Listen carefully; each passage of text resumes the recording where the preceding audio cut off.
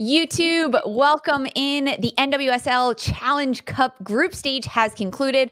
All teams placed played this past weekend with four teams advancing to the semifinals. We're going to chat about the United States women's national team players, how they performed last weekend in the NWSL. We're going to chat about Alex Morgan, Christen Press, even Champions League with Lindsey Horan and Catarina Macario. Plus, we are discussing the CONCACAF W Championship draw. It took place last week. Following the W qualifiers, United States takes the number one spot in Group A, and Canada, they take the number one spot in Group B. Who is the U.S. going to play? What nations will be the biggest challenge for the United States? And so much more in today's USWNT hour. Like this video and subscribe to Attacking Third YouTube page right now and join the conversation in the chat because we want to hear from you all.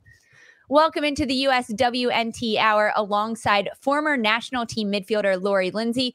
We welcome in Sandra Herrera, CBS Sports writer and attacking third host. I'm your host for today, Lisa Roman. You can join us live on youtube.com slash attacking third. Join the conversation in the chat. And you can listen to all of the USWNT hour episodes on the Attacking Third podcast. Download and subscribe. Apple Podcasts, Spotify, Stitcher, all the places that you listen to your podcast. On today's episode, we're talking about Conca CONCACAF W Championship draw, NWSL player evaluations. We've got a lot to dive into. But first, Sandra, welcome into the US WNT Hour. How are you, buddy? Sandra in the house. Yes. This is so great. I love it. I love anytime we get to jump on attacking third and chat about all things soccer. But I really love it when we get the chance to go live. We've been this is something new that we've been doing for mm-hmm. 2022 and I appreciate everybody who hops on and joins with us. It's a, it always adds a fun little element to the show. But this is my first uh, USWNT hour, so I'm I'm hyped to be here. Thanks. We are so happy to have you. I mean, it's usually just Lori and I. We've had on guests before. We're gonna have guests more, but Sandra, this is like family having you here. Lori, yeah, and feel feel you, feel free to join anytime you want. Okay, like oh, listen, please. just slip right into this um, broadcast or podcast, I guess. Sneak in once you guys are going live. Like, hey, perfect. Just come right into the link. I'm sure you can find it. But um, we've got a lot to chat about today because there is a lot going on. But for anyone joining us live on YouTube, we have a $100 Paramount Plus subscription to give away during today's episode. And we want all of you to win. All you have to do is enter your social media handle in the chat and like this video, and you get a chance to win a $100 Paramount Plus gift card. You can watch Serie A, CONCACAF, Champions League, NWSL matches. There's so much that you can watch. So enter your social media handle in the chat without the at symbol, and we will DM you if you win. A lot to come from that. We've had winners in the past. People getting free year subscription to Paramount Plus. It's truly fantastic. Let's dive into some chat though. NWSL, they just completed their group stages for the Challenge Cup. And we see a lot of players competing in the NWSL. We talked about this last week which players are doing well, which players we want to see a little bit more from. After this past weekend, OL Reign, Kansas City Current, North Carolina Courage, and Washington Spirit. These are the four clubs that are advancing to the Challenge Cup semifinals in the NWSL. But we saw a lot of goals from national team players. Ashley Hatch gets a brace. Christen Press, we see her score a goal. Alex Morgan, Kristie Mewis, Jaelin Howell lots of players in the NWSL scoring goals. Lori, I'm going to go to you first. You were on the call for games this weekend yep. on the sidelines, actually, field analyst. so you got a different perspective from Lori Lindsey this weekend. But watching the NWSL competition, what players stood out for, to you from the national team that you saw play this weekend in the NWSL? We're starting there. Yeah, I mean, I think one of the ones you just mentioned with the two mentioned with the two goals is Ashley Hatch. It, it was interesting. That game was a ton of fun. First of all, because um, we got to see Kerolin. Obviously, doesn't play with the U.S. Women's National Team, but does play with the Brazilian national team. Uh, her first start, exciting. Both of these teams, I think, um, you know, have had a really good start to this Challenge Cup. Um, but you know, I think when we when we think a lot about this U.S. Women's National Team, you think about young players. You do think about Washington Spirit right now because they do occupy quite a few of them. Of um, yeah. and, and, you know, this was a outside of that game, um, which had some like oddness um, to it a little bit too. I think this was a kind of like a weird weekend in general. Just we saw some players step up, but we also saw a lot of players out as well. Andi Sullivan being one of those. Um, but in terms of the Washington Spirit, Ashley Hatch, I think um, had a really great game. Uh, one of the things that you know the Washington Spirit in general um, coming into this game was like, how can we start off better and, and, get off more on the front foot? And so that does um, entail Ashley Hatch, Trinity Rodman, Sanchez. Um, you know, a little bit of acquired game, I think, from Sanchez and um, Trinity Rodman. But I mean, listen, fair enough. Like it was hot. It was hot. These players, I think those two are fun to watch, are performing at the best, and we've seen them score. And then Hatch has had a little bit of quieter games, and this game happened to she happened to step up, and um, they had a lot of rotation with those um, with their team as well. And I think still to compete against a North Carolina that has like looked really good in the Challenge Cup. I mean, still this um, spirit team that's performing high. So I'm going to go with Hatch. Sticks out to me. Um, I'll let Sandra chime in because I could go on forever about other players and like I, let we know. I want to hear from Sandra. I want to hear from Sandra about this, but I've got to ask: Did you learn anything different being pitch side, not in a booth, not bird's eye view of this match between Washington Spirit and North Carolina? Like it is. I have been on the sidelines because we'll go down there and like say hi to everybody when we're live at games and stuff. That I'll tell you, this has nothing to do with the actual game, but the athletes are unbelievable. Like if I played today, I'd be broken in half. Like it, it's just not even. It is. It is so fun to watch. And Allie and I were talking about that because we were down there talking with the coaches, and um, but like it's awesome. Yeah. Like the it is. It's so fun to see and be there live and see the players. Um, and it's it's interesting to see also the experience this is why if you're listening to this get to a game go live. It's such a different experience than even just watching yeah. on television. I mean it's great that we have all of them streamed or or on network but um if you can go live what an event. Um and there's like the the energy around those two teams in particular were so fun. And like listen it got it got somewhat transitional because it was hot and the players you know even though there's going to be a box midfield and it was going to be tight in there like listen that the seas parted and that game opened up. Um but yeah, I mean, that's the main thing. The athletes are phenomenal. So fun to watch. I'm mm-hmm. in full agreement with you. There's nothing like being able to catch it live. You just yep. you catch things that you just aren't able to get on a, a, stream or on a broadcast. It's it's it's you're operating on specific angles mm-hmm. uh, when it comes to the stream. But when you're seeing it live, you get to move your head back and forth, mm-hmm. get to see all kinds of things. But if we're sticking with Washington Spirit and, and North Carolina, um, yeah, I was really, you know what? I was really impressed with Trinity Rodman and her mm-hmm. defensive mm-hmm. work rate. Oh yeah, good call. That's a good shout. Yep. Uh, you know, I think obviously it's like you know for people love love them some some goals. They love some home runs. They want to see some things. so you know, I, I know naturally like uh, the goal scorers will typically be at the at the top of the docket, but we love you know defense and attacking third, and we always try to oh, highlight oh, yeah. that where we can. But I just thought that I just thought that Trinity Rodman uh, just covered a lot of mm-hmm. distance mm-hmm. during this this particular game. Maybe it was because it just it just got open very quickly and was very kind of tr- transitional. Um, but being able to see teams try to try to isolate or or, or try to limit uh, the attack with the spirit because they, they can come at you from all different types of angles. But watching watching these two teams go head to head on this final match day and sort of seeing the spirit try to put this very equal game plan together of you know making the attack count when when they can but also limiting north carolina on some things kind of putting them in uh, you know more isolated spaces or more pressure into into half spaces and kind of this collective uh, coverage. And then i don't know if i I can't really recall a game where I was maybe more impressed with with some of the def- defensive work yeah. uh, of Rodman. And I think because a lot of that in her first season, a lot of it was just wanting to see this player and and what she was tasked with, which a lot of it was like go go go, get in the attack, get on the ball, and and try to get behind these lines, right? And we saw a lot of that in in her in her first season last year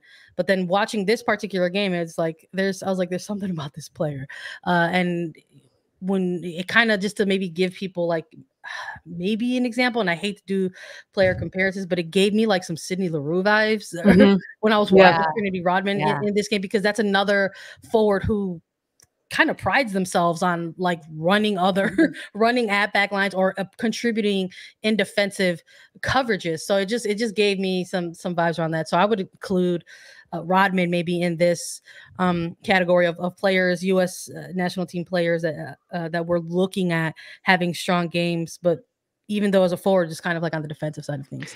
Yeah, and I, th- I think that's an excellent shout as well. And and you know it'll be interesting because when you do think about that team, you do think about the three that we just talked about, Sanchez and Hatch included with Rodman.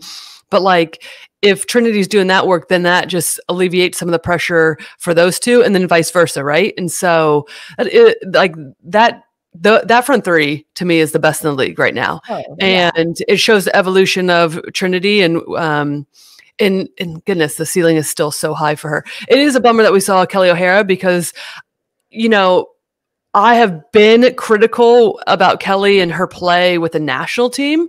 Um, some sometimes depending on her positioning and the balls that she's serving in, but there does seem to be like a real understanding for her of like how she can help the spirit team of where she can get into the attack and help um, you know continue to keep play so it's a bummer also to see i'd say kelley go out because it would be interesting Mhm. to see her 90 minutes in that game Yeah. and what that would have looked like for her on the attacking side and how that could have pinned north carolina in def- in defensively a bit more Kelley Um, O'Hara probably would have changed the course of that game, ultimately it ending Yeah. a 2 2 draw between Washington Spirit and North Carolina. But at the end of Sunday match day, both teams would be finding themselves into the Challenge Cup semifinal, uh, looking at more games in the Challenge Cup before the regular season gets started. Other players that we've talked about before in the national team, midfielders looking specifically in this general area, Kristie Mewis, who is with Gotham FC, and Jaelin Howell, who, Lori, we've talked a lot about Jaelin Howell, Andi Sullivan in that defensive midfield six role. We saw both of these players get goals this weekend. Um, neither one uh, goal really making that much of an impact in the game. Kristie Mewis for Gotham scored on a penalty kick uh, at the end of the first half for Gotham against Orlando Pride in the stoppage time of that game. And then Jaelin Howell, she gets the opening goal for Racing Louisville against Houston Dash. However, Louisville fall to the Dash two to one in that match. But I, I was happy to see that Kristie Mewis stepping up to take the penalty kick for Gotham. Not a surprise by any means, but Yeah. stepping up and, being able to take that for a, a player like Kristie Mewis, who personally I want to see more of from her and Gotham. I've talked to both of you about this separately together that I want to see more from Kristie Mewis in order for her to continue to be an influence for the national team.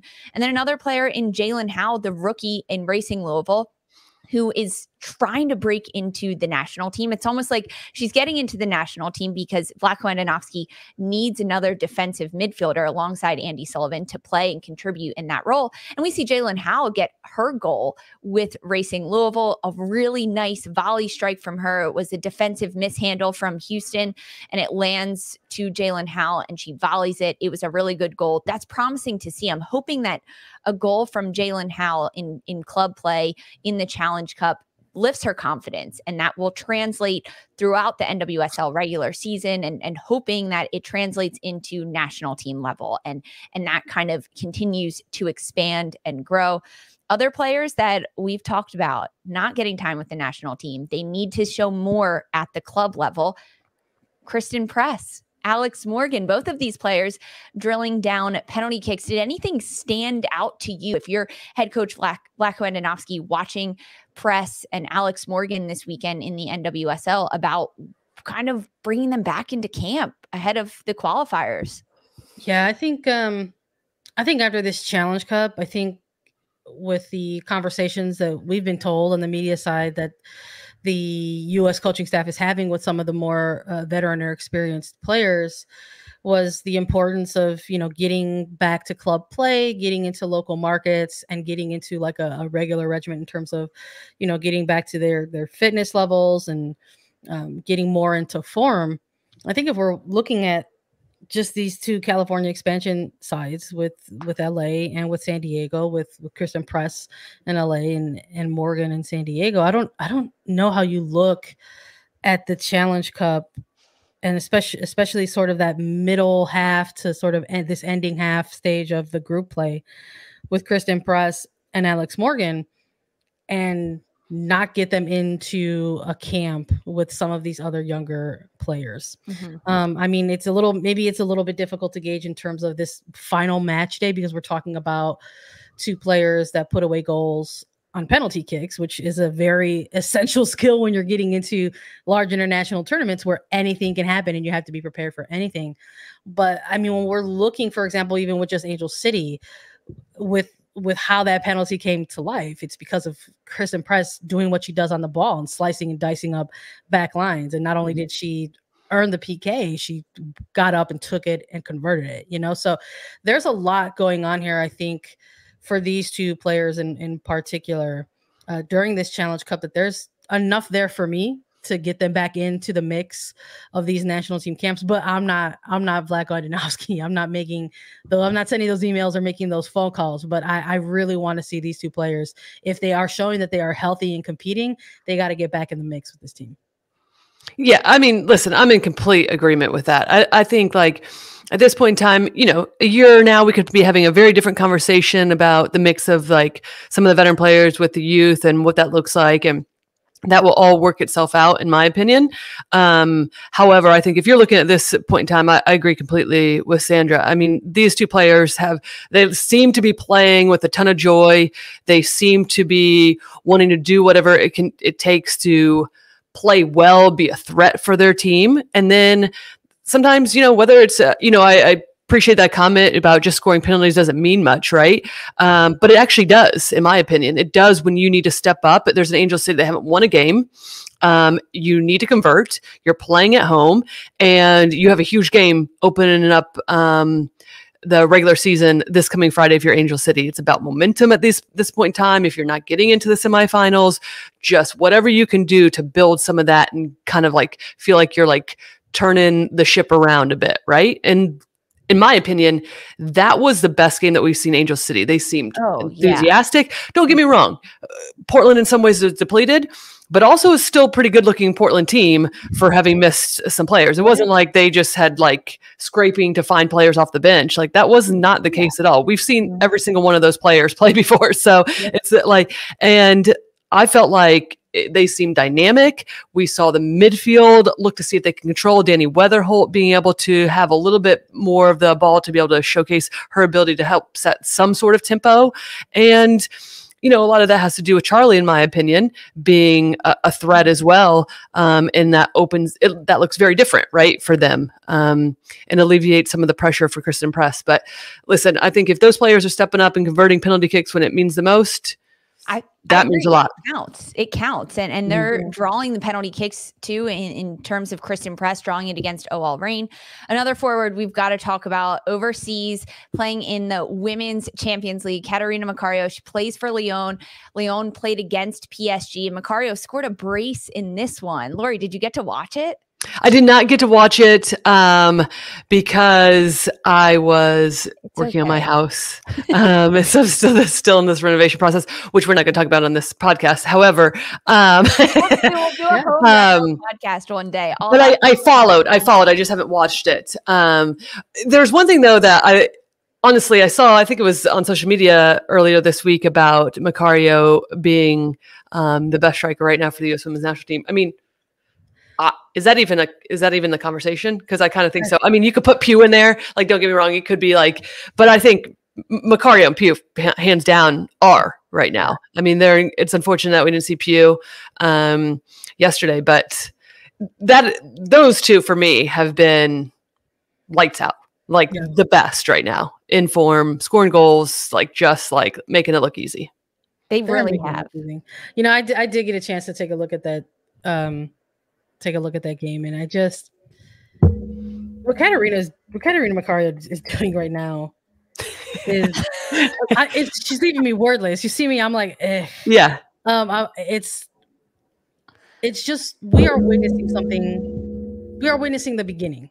I think is what I'm trying to say. We're witnessing the beginning of something very special here, and I'm also like saying that with a little bit of a grain of salt because I think if if you're on the American side of of this audience, that's not necessarily true. I think if you're on the European side of the audience, maybe that's a little more true. Because I think for those of us in this this space, you know, who kind of cover the game, I mean, I, Lori, I, am sure you can attest. To that. I mean, we're we're following Macario since our days at Stanford. You know, mm-hmm. Challenge Cup yep. runs and and you know NCAA fixtures and and seeing this player. So in terms of a beginning, we've we're looking at this player at a collegiate level, but in terms of now being on a very large stage internationally, mm-hmm. playing mm-hmm. professionally now for club overseas in France with Lyon. For a lot of people, for general casual fans, this is the beginning, I think, for many of them tuning in to a player like Catarina Macario. And I think there's something very special to be said about being able to like be there in the mm-hmm. beginnings of yep. things and i think uh, like there's a number of players where you could you could kind of say that about but it's also very few i think uh, players that come to mind you think of the greats of the past like somebody like a like a mia hamm right for more present with somebody like a like a Mal Pugh, or uh, you know, in this case, we're talking about uh, Catarina Macario. Is it Rose Lavelle? I think I would even include in that category as well, where you're just sort of witnessing the beginnings of something where you know is going to have a very special, uh, you know, ending or, or or continuation. And this has just been an incredible and it's not even over yet which is i think which is the most wild part for me but there's just like an incredible champions league performance. Like there's just an incredible Champions League campaign that Catarina Macario is putting together right now for mm-hmm. for Lyon, for herself, you know, for mm-hmm. for I guess you know American audiences who are uh, you know trying to make sure that they're able to to to view her and, and the body of work that she's putting together uh, overseas. I'm not too sure how many folks can actually say oh yeah, I'm able to watch women's French division, you know, league play often and all the time and on the regular and i'm able to take these games in quite consistently. I think that's maybe a little uh, difficult to to do if you're an american fan trying to watch these types of games from a player like macario. So when you have these Champions League matches a little bit more accessible to much larger audiences. It's going to have more eyes on, on on the product, on the player, and the end result. And she's doing she, she's doing what she's doing with Lyon, and it's like eh, you're watching this player play and do what she's doing, but she's also doing it alongside some other pretty elite players. You're talking about the you're talking about you've got people who are like already like yes future Ballon d'Or winner, you know, et cetera, et cetera, you know, but you're watching, you're watching her do this on a pitch with, with players like Ada Hegerberg, you know, yeah, uh, Marjorie, you know, you're, yeah. you're, looking, you're, and even on the opposition side of things, mm-hmm. when you're going up against a team like PSG and going up against other attacks that's that has somebody like a Marie Antoinette Katoto, you know, it's, yeah. it's just, it's, it's just impressive to put mm-hmm. it very simplistically. It's making Macario that much better because she's training alongside these players and going into competition with them that it, it's so fun to watch. I mean, and seeing her progression as a player from her college days and now into the European and the Champions League and now with the national team, hoping that that continues to go and continues to grow yeah. a little bit. I want to shift away from domestic play for the national team players and dive into the CONCACAF W Championship draw that took place last week. The CONCACAF W Championship is taking place this summer, July 4th through the 18th in Mexico. And there's a bit of a different format for this W Championship. The top two teams from the two groups, Group A and Group B, will earn direct qualification to the 2023 Women's World Cup. So, eight teams broken into two different groups, USA and Canada leading each group. In Group A, it's the mm-hmm. United States with Mexico, Jamaica, and Haiti. And in Group B, Canada, Costa Rica, Panama, and Trinidad and Tobago. The two third place teams that will head to the brand new intercontinental play in tournament with three qualification spots available. So that's all part of this new format reconstruction that's coming into play. However, the winning team of the entire CONCACAF W Championship tournament will receive direct qualification to not only the World Cup, but also the 2024 Olympics. Then the second and the third place teams will face each other in September of 2023 for the final CONCACAF spot in the 2024 Olympics. But the W Championship happening this summer, July 4th through the 18th, hosted by Mexico in Mexico, eight teams, four different groups. The draw happened. It was a little uneventful, knowing that the United States was going to lead one group and Canada was going to leave the other. But after the, the CONCACAF qualifiers, there was eight teams to be chosen from into these four different groups. After this all shook out, you have Group A and Group B. Initial reactions to the restructuring of the CONCACAF W championship and the qualifiers, how that all played out. What what are your initial thoughts on this Group A and Group B? Uh, Lori, we'll start with you on this one. Yeah, well, I mean, listen, um, you have the top two, as you mentioned, going from each group. So, I mean, exciting times. Um, and also, holy cow, this is going to be a tough group, regardless oh, yeah. of how, like, if you yeah. think about for the US, Mexico, Jamaica, and Haiti, like, I'm sorry, that this is the toughest World Cup qualifying we've had. And and it just continues to go to show like how the women's game is the how it continues to evolve, right? And I think you know, Mexico last year when the U.S. played them heading into the Olympics, um, I think both games, if I remember correctly, 4 0. However, that's not how that went, right? Like there were moments when, and like I liken Mexico in some ways to like a Barcelona, the way that they can move the ball, the way that the, the confidence they have. I mean, all these players are playing consistently now, right? So gone are the days where these teams also are like showing up, which was like the best thing for the US, which was the fear tactic, right? Exactly. Knowing that, um, we're the number one team in the world, and you had players consistently playing professionally. If not, we were in some sort of residency together. It was a team that was training together. Gone are those days. And then that's why this dialogue to me is so interesting. And we keep talking about the performance of the national team and do you mix in the veterans?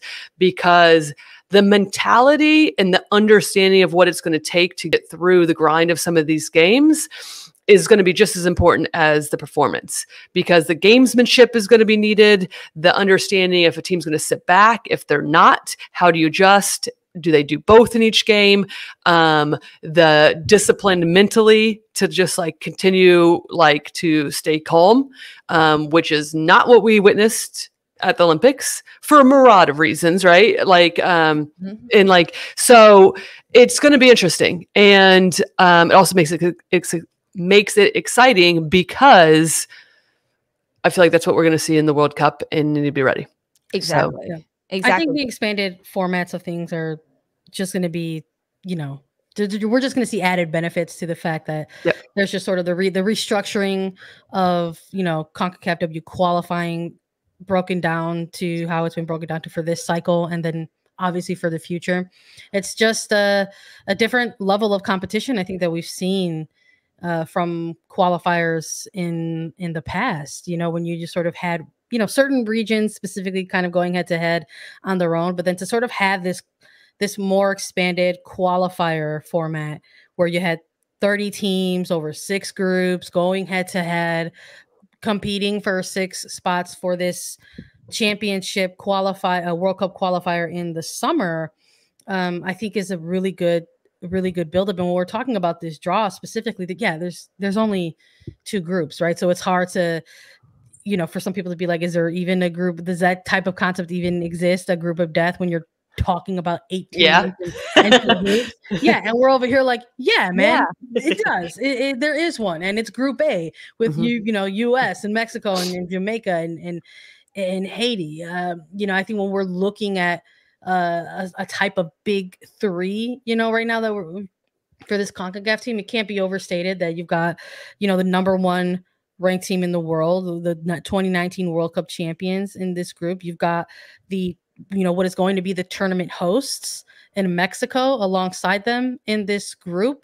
And this is a Mexican team that just looks incredibly different uh, than when they went through their qualifying campaign for the 2019 World Cup, a campaign that ended in extreme disappointment, embarrassment with a failure to qualify. They were gutted and devastated. And uh, we're looking at this national team now, and they're just in a completely different zone than they were even in the last World Cup qualifying rounds. And then you have Jamaica, who were debutantes in their first ever World Cup in 2019 trying to take you know these extra steps in their program now in this group as well. It's going to be a very difficult group to advance out of i think if you are any three of these teams. I i feel for for jamaica. I think it's a tough draw for them. I'm in agreement with with some of the comments in, in the live chat right now talking about that it's going to be tough for jamaica. But the uh, the other thing of this is is with this expanded format right we know out of this out of this tournament from this draw that there will be four CONCACAF teams mm-hmm. represented mm-hmm. yes in the 2023 World Cup. But I want to aim bigger. I mean, there are going to be two teams that go to an inter uh, confederation playoff. So mm-hmm. there's a possibility that there's going to be six CONCACAF yeah. teams in a World yes. Cup, and I'm I'm here for that. Yeah. Every day, like mm-hmm. 24 7, 365, CONCACAF supremacy. Let's yeah. go. yeah, seriously. I love that show. Um, Lisa, I'll just uh, go yeah. one other thing too is like, and just looking at some of the comments, you know, we're seeing um, Stephen Cruz Jr., the July 1st game versus Mexico with the women's national team, 29 shots and Mexico five. Yeah, no doubt. Like, do I think that the U.S. player for player dominates in some ways still yeah. this CONCACAF? No doubt. Like, I mean, I don't even think that's, there, there's not a real discussion there. However, that's only a piece of the puzzle when you look at all this. Um, and I've been a part of those games, right? Like, and we can dive into that later, but I've been been a part of those games where there felt like there was like a lopsidedness, and that's not the results. So the whole point is, is that like consistently these teams, Jamaica and Mexico, um, more more in particular in this group um, with the U.S. have players playing at the highest level. Yes. So that levels the playing field a lot more than it has been in the past. Then you just add in that it's soccer, right? Anything can happen. These players consistently know gamesmanship. They understand it's going to be in Mexico. It's going to be hot. There's going to be a lot of different factors that will take place with two games in between or two days in between, excuse me these games. So it's a yeah. quick turn turnaround. So there's so many factors to to um, take into consideration that um, that I just think continues to like decrease that gap even more so than regardless of the ranking by FIFA or, or what happens, right? And so, um, yeah, that's why it makes it's it also, the best. It's also like when it comes to those type of numbers, I think they're they're because there's big differences and they're two different, completely different numbers, there's a tendency to get kind of uh, fixated on that stuff. Yeah, I know I've been guilty of it too. Like, well, let's just look at the numbers. Let's look at the data, yeah. right? Mm-hmm. Uh, and when you're looking at uh, the game stats, shots versus shots, or even just something like rankings versus rankings, you know, maybe on the service level, it sort of feels like it might be an uneventful competition or possibly lopsided, you know. And I'm not going to say that there might not be some areas in which there are some more dominant scorelines. I mean, even with just the preliminary qualification of events that took place in February and April, we saw some separation of teams within within these 30 uh, national teams that were going head to head. You know, we saw Mexico, you know, dominate uh, their group ultimately, and it had to come down to a final match day against Puerto Rico, and they were never looking back. It looked like Puerto Rico didn't have a chance on that day because of how Mexico came out to play. You had Haiti putting up 40 plus something goals yeah in mm-hmm. their in their group you know uh, there there are areas in within the quali- qualifiers where you could see that there are still some gaps that need to be closed a little bit but that's mm-hmm. also mm-hmm. kind of part of the point of this kind of reformatting with mm-hmm. CONCACAF W uh, and sort of having the reformatting or the expansion of some of these uh, tournaments or the or the paths to qualifying or the paths to the championships uh, because that it's it's been evident for multiple years now that they want to see more competitive fixtures coming out from this region and within within these moments. And I know Lori, you've been giving us the experience, you know, of of having to prepare for these things and and maybe you can even shed more light on that for mm-hmm. us, you know, because we're talking about gaps. So we're mm-hmm. talking about 2022 compared to 2010 that's a long gap you know and we mm, want to oh, yeah. i think we're in a place in time now where we want to see less of that we want to see less of those wide gaps like instead of looking back at the history of CONCACAF rivalries when it comes to the women's side of the game i think we want to see less time between that we, we don't mm-hmm. want to see programs uh you know not being funded or not being given the, the resources and the Yeah. tools to compete so long apart uh, it's it's unfortunate that we're getting uh, hyped about a qualifier like this in terms of the com- possible competitive level that we'll see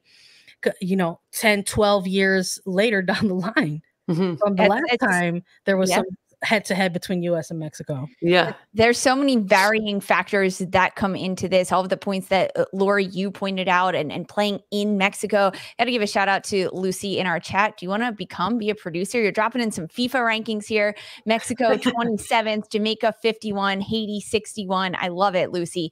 But there are so many different factors that come into play about playing in Mexico, having eight teams in this, starting with the CONCACAF W qualifiers that played in February and then in April, many, many matches to open up the field and get more teams and nations availability to play. We're going to talk about all of this. We're going to dive into the details of this playing in Mexico. We're going to pick Lori's brain about doing it for the United States women's national team back in 2010. We got so much more to chat about here on the US WNT Hour, and we'll be right back after this quick break. Look, we want to make a movie. Paramount is going to come crashing down. We need hits. I got no cast. No Pacino. Brando. He's a nutcase. Can one thing go right with this picture? This movie makes my people look like animals, and that ain't gonna happen. I'm not running.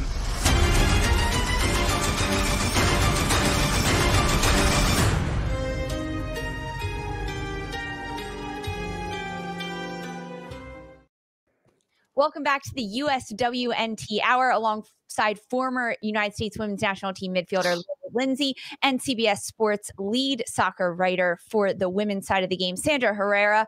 I'm your host, Lisa Roman. We're talking about the CONCACAF W Championship that is taking place this summer in Mexico, July 4th through the 18th. The winners of these games get to go to the Women's World Cup. It's eight teams two groups. Each team plays in three games in the group stage. It's single round robin type of style. The top two teams from each group qualify for the knockout rounds with single elimination. It's a little bit of restructuring and reformatting this year with World Cup qualification, Olympic qualification, Gold Cup qualification, all on the line. But one very important factor that we need to look at is these CONCACAF W championship matches are happening in Mexico. Shout out to everyone who is joining us live on YouTube right now in the chat.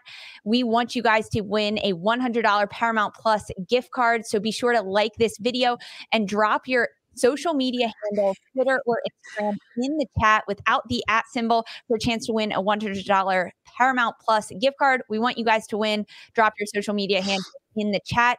But this chat, you guys are here for us. And I love it. I got to give a shout out to TJ Trex saying that Mexico playing in Mexico, this is a big factor coming into this. Uh, some other people making shout outs, Christopher Meister saying that US is playing on away soil in front of away fans for these CONCACAF W championship and it's World Cup qualifiers on the line.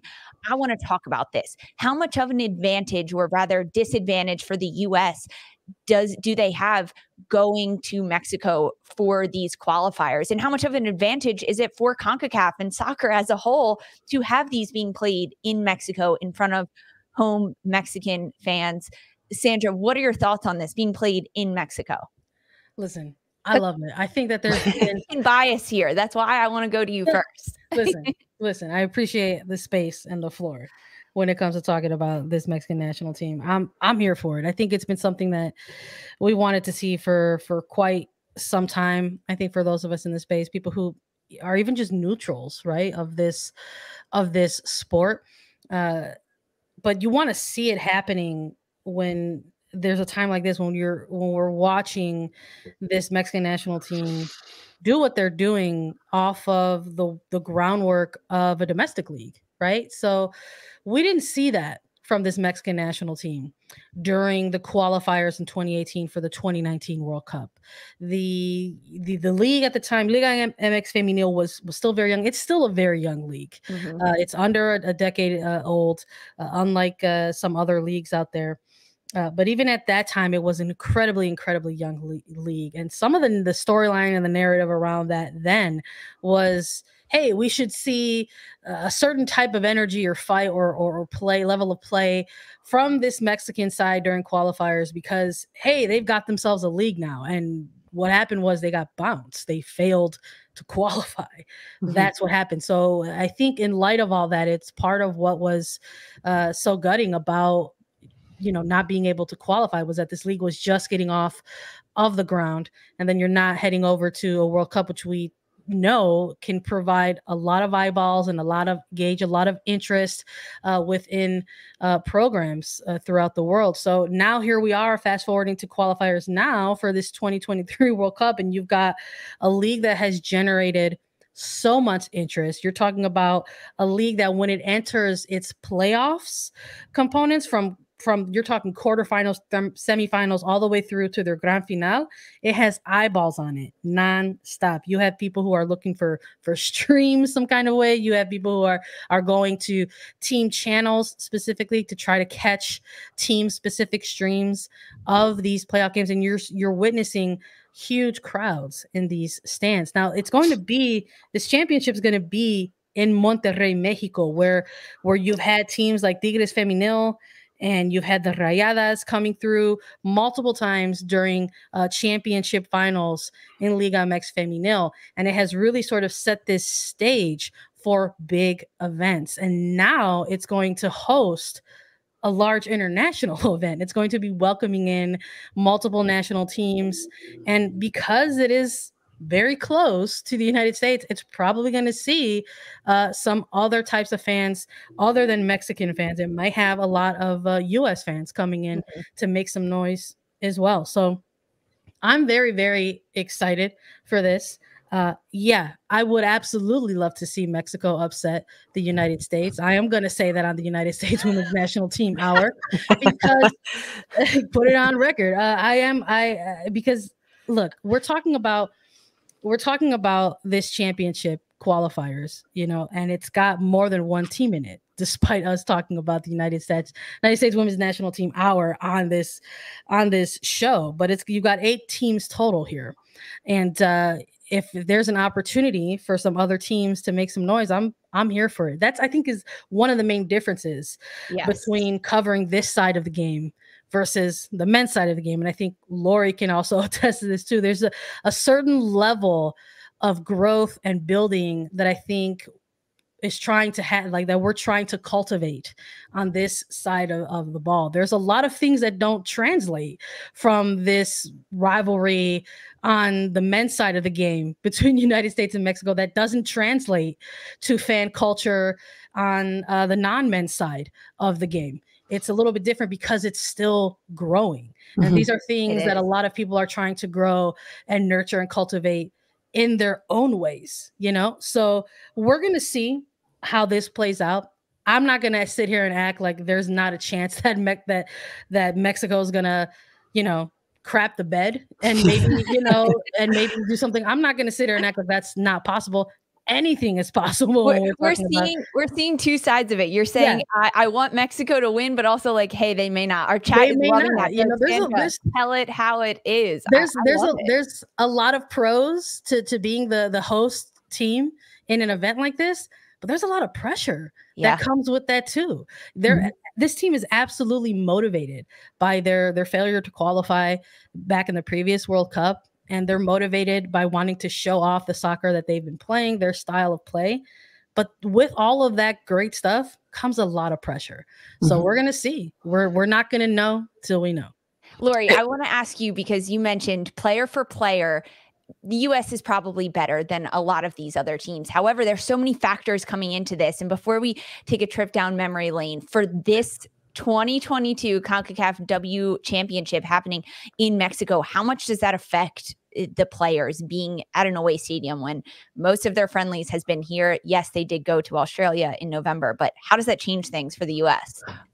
Well, I think it, it speaks to what Sandra was saying. Like, I, I think that you know depending on what the what the eyes on the games are what the um, fans are like how how packed are these stadiums could be could be a massive difference or much to what sandra was saying too in terms of like if you just look at the men's side right? What is what was that like when our men's team just recently went to azteca? That place used to be brutal to play in right? And for different reasons um, traffic outside the stadium, a ton of different things taking place. It wasn't nearly as scary, right? Like, um, in quotes, scary, um, and and difficult to play there. So, like, listen, I think that there's there's an opportunity for be to be really challenging.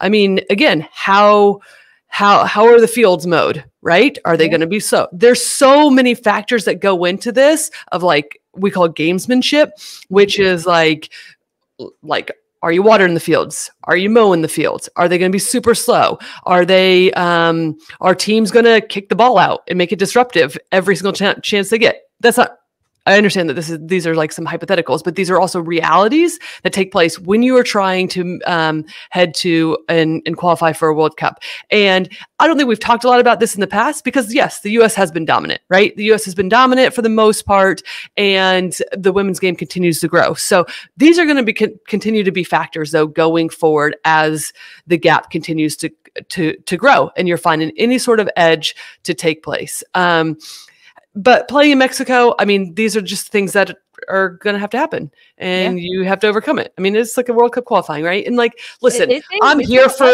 Sandra and this Mexico team. I am here for all of this, right? And do I have so much respect and like belief behind our US women's national, national team? Yes. And yeah. I also realize again, the general dialogue is our young players. And when you look at some of the performances, uh, have they been the most convincing in terms of no not all of them right they not all of them have mm-hmm. so there's still a lot of question marks on the us side which yeah. is totally fine right and um and so we still have a couple months. I think things will hash themselves out in terms of player personnel and availability. What that looks like, there'll probably be some tough decisions for Vlatko, no doubt. Um, but outside of that, um, honestly, at this point in time, it's really you just have to get out of business regardless of where you're competing. Exactly, and the mentality that I exactly. Exactly. And there's so much on the line. I mean, uh, we talked about Group A being potentially that group of death with the United States, Mexico, Jamaica, and Haiti. Uh, Jamaica, I think they have a chip on their shoulder. They had a great uh, W qualifiers run just dominating throughout that play. Haiti, they are looking for their first World Cup qualifiers coming into this. They they were one of the best teams throughout the CONCACAF qualifiers. 44 goals, 0 goals against. Mexico 0 goals against. They also have a lot on the line playing in their home country. And then when you look at Group B, these teams are also playing in Mexico. No, not against the host country in this initial round. But after that, the top two teams from each group will move on to the elimination round between Canada, Costa Rica, Panama, Panama and Trinidad and Tobago.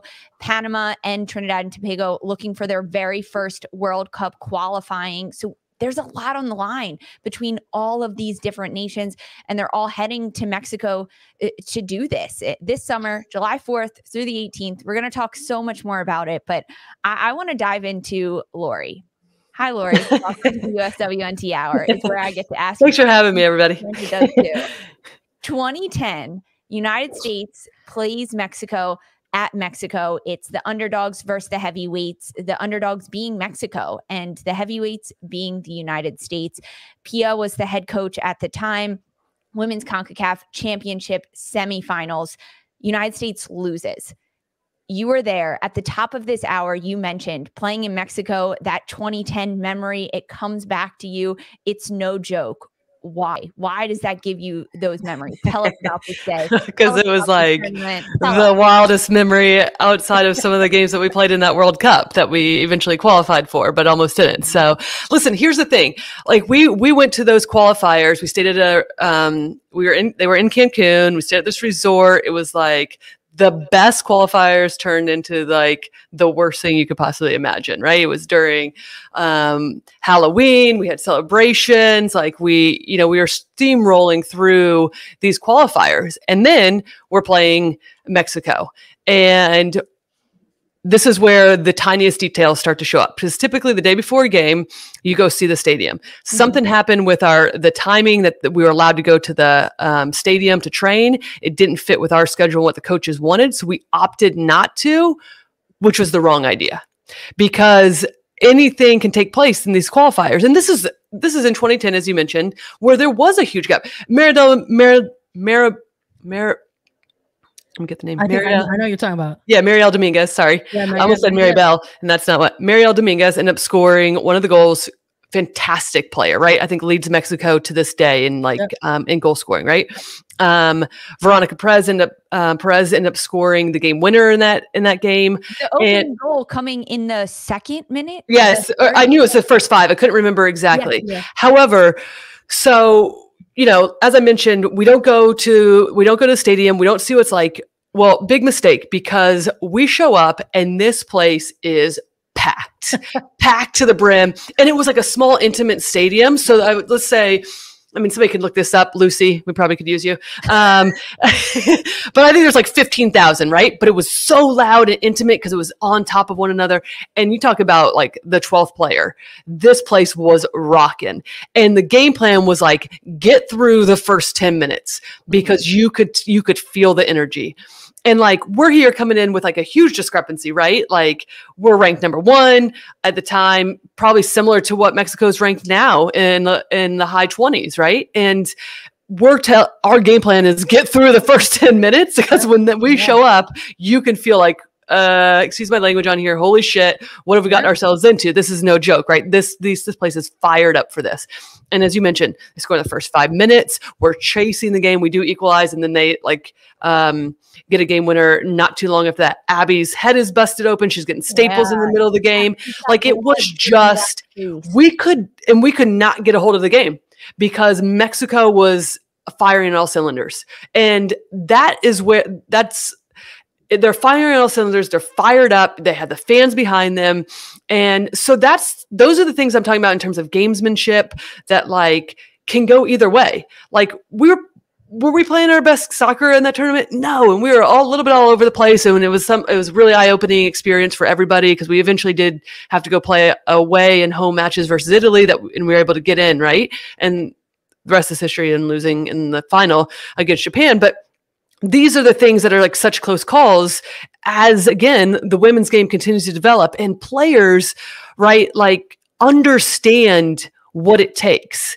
And that would have still been a time when mexico would have been like bottling everything they had inside to say we're not freaking out here either but we have our fans behind us so let's show up and give it all because actually we're supposed to lose this game according to what everybody's saying right? So and and this is probably where that gap was even though there are some really good games and i would always say around that time even like in the 20 leading up we played them in the qualifiers obviously mexico um, leading up to the 2012 olympics.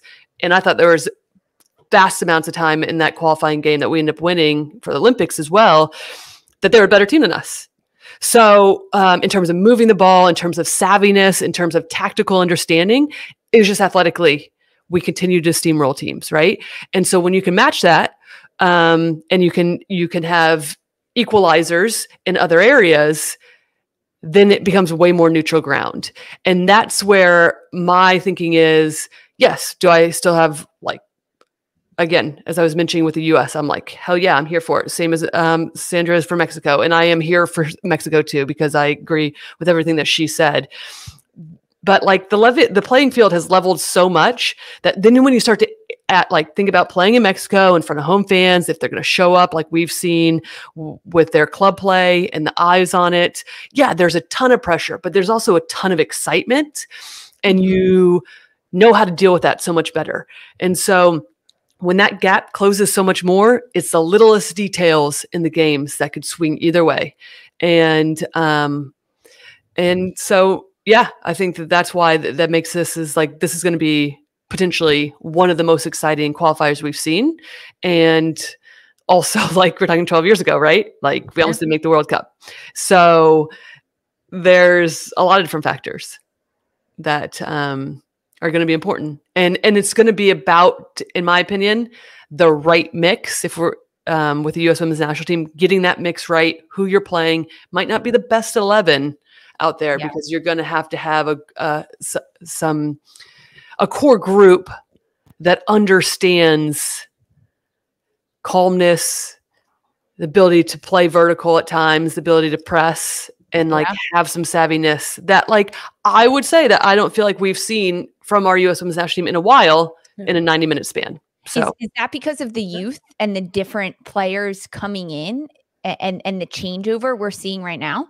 No, I don't think so. I think you've seen that with the veterans too, right? I think there's been moments where the veterans, I think it's our style of play. I think it's wanting to attack and get on the front foot. I don't fault any I think that's awesome. And then I think it's also a mix of it's really difficult if that's the style that you want to play, right? Then to be able to sometimes take your foot off what will feel like taking your foot off the accelerator and then find moments to be even more um um, purposeful or that's not quite word, but like destructive in a different way, right? Yes. So, um, Yeah. and, and that's how I view it right now, and and that has been an ongoing common theme, I think, around the U.S. Women's National Team for even when I was playing, right? Like, Yeah, completely. so, and and how do you continue to evolve, right? And so, um, yeah, So, so Lori, for you as someone who played in those 2010 games in Mexico in that stadium, you had that experience. What's one piece of advice you would tell the U.S. national team today? Those young players say it's the last roster that was called in with a lot of young, very few capped players heading down to Mexico, Mexico to play against Mexico in this first round of the CONCACAF W Championship. What advice do you give them? Yeah, one. I mean, it's like the same. Like a lot, you hear a lot of time. One game at a time, really, and also do what you can to tune things out because there's going to be so much more dialogue. Because on the flip side too, that we actually haven't talked about is there is a good chance, and maybe Sandra will push back on this. uh, I'd be curious about your thoughts. But there's also there's also a chance that there might not be a ton of fans at all in some of the games, which presents a completely different. Um, uh, situation, which we saw with our women's national team. I think that was a tough thing for the US at the Olympics, going from playing in front of a ton of fans prior because everything had opened back up for the most part, Mhm. having energy, much like we, I spoke about um, for Mexico in, in the final game where, that we lost, but then then go to Tokyo where it's completely silent Yeah. And you have no energy and then you feel flat. So there's a ton of different things that could switch it. And I, I still think there's going to be a lot of fans and I think there'll be, again, a lot of eyeballs, but you could be playing in front of like not many and not many that are like, so then the, the field feel, and then again, if you know, we had, we played in some slow fields that were like, you want to play at a fast tempo, you, you want them to be watered, you want to go. And the pitch and the atmosphere does not um, match up with that. So, how do you how do you find um, the ability to get a result in those conditions? Right. No, I think that's a good point that you bring up too about about the environment or about the facility coming into play. I mean, you mentioned the the qualifier match that didn't happen too long ago on, on, with the men's side and in, in Azteca. Like you said, just traffic around the stadium, uh, COVID, a pan, an ongoing pandemic that people are still trying to navigate. You know, things like that coming into play in terms of, you know, butts in the actual seats, right? Mhm. Uh, but you know, come game day, that could be a factor as as well. I mean, just going back and trying to like reach back into like my my memory bank. I mean, with the two teams in the Monterrey region, you know, in their finals and the fans that they're able to draw, you're talking 40 to 50k Yep. on a Liga MX Femenil day, you know, uh, and I'm I'm hopeful that for this type of match, uh, you know, between U.S. and Mexico, that that will be the the more largely attended game, right? Mm-hmm. Maybe you maybe a match like you know Haiti and, and United States might not get that type of packed house. Again, we'll we'll see. Well, and we'll see how the team per, performs out of that because I know like we're, we talk we've talked a lot about this national team and this current this very current pool of players at the moment and kind of the opposition that they've been going up against lately from you know let's just say September of last year to to now and how they're being tested or they're uh, what they're being presented with on the pitch. And I know with these most recent friendlies against Uzbekistan, we were putting some things in front of in front of us, saying, "Well, you know, perhaps if they go up against this team and they're walking away with some low score lines like one to zero or two to zero, that might be considered." a bit of a disappointment or a letdown you know when you're looking at uh, the opposition in in front of you. So there are some things that are going to come into play for sure. I'm in agreement with you 100%. But my hope is at least for uh, some of these games, whether it's like a, a, you know U.S. versus Mexico or like a Mexico versus Jamaica, that there will be uh, some good crowds out there. Yes. Hoping for good crowds across the board. These CONCACAF W Championship is happening in July 4th through the 18th. We talked about NWSL players and their competition. Also, Catarina Macario scoring a brace with Lyon in the UEFA Women's Champions League and all about the CONCACAF W draw. Thank you guys so much for being here. Final thoughts? Anything else? Lori, you want to hit us with anything else? Maybe no, I, I, said enough. I have I said enough. I love it. Sandra, final thoughts from you. CONCACAF supremacy. Let's go. I love it. I love we're it. In, we're literally all in this together. Yeah. I love this. Thank you, everyone, so much for listening. If you like this video and you dropped your social media handle in the chat, look out for a DM from Attacking Third. You could be our Paramount Plus subscription winner. Follow us on Twitter at Attacking Third for more. We're on Apple Podcast, Spotify, Stitcher, anywhere that you listen to your podcast. And subscribe to us on YouTube to catch all of our interviews and get alerts for when we go live. YouTube.com slash Attacking Third. Thank you so much, Lori. Thank you, Sandra, for joining us. It was so good to have you here. Thank you everyone for joining us in the chat. We'll be back next Monday for another USWNT hour. Hope everyone has a great Monday.